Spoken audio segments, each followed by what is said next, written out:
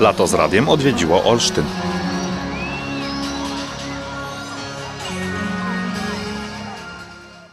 Obchodzimy 660-lecie, a jednocześnie w tych dniach obchodzimy również Dni Jakubowe. E, Dużo się dzieje zarówno na Starówce, dużo się dzieje nad wodą. Wykorzystujemy nasze atuty jeziorczy naszych rzek. No i również tutaj e, przy Aquasferze dzisiaj gościmy Lato z Radiem, jedynkę. Wspaniały, wspaniali wykonawcy, bo i Blue Cafe, i e, Wyszkoni, e, Ania Wyszkoni.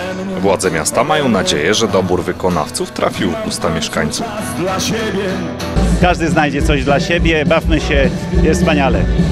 Tym bardziej, że impreza to nie tylko koncerty, to także szereg dodatkowych atrakcji dla wszystkich grup wiekowych.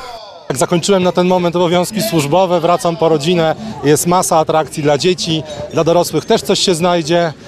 Koncert Lata z radiem był uwieńczeniem Dni Jakubowych.